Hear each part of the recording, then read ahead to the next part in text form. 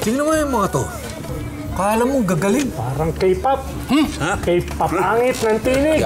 In fairness ka, Senator Bato, ha, sa pinakaangat at magaling dyan, mag-request kaya ako, my way. Hirap yan, delikado yan. Marami ng body count na na-produce yung kantang yan. More than 300 na sa Pilipinas. Alam mo kung si Panginoon kaya nandito, ano kaya sasabihin mo?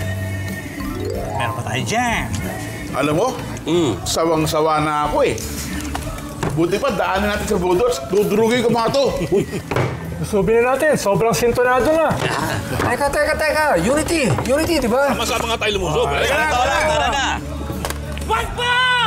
Huwag po! Lunes hanggang biyernes, alas 8 ng gabi, dito sa 1PH. Teleserbisyo para sa Pilipino.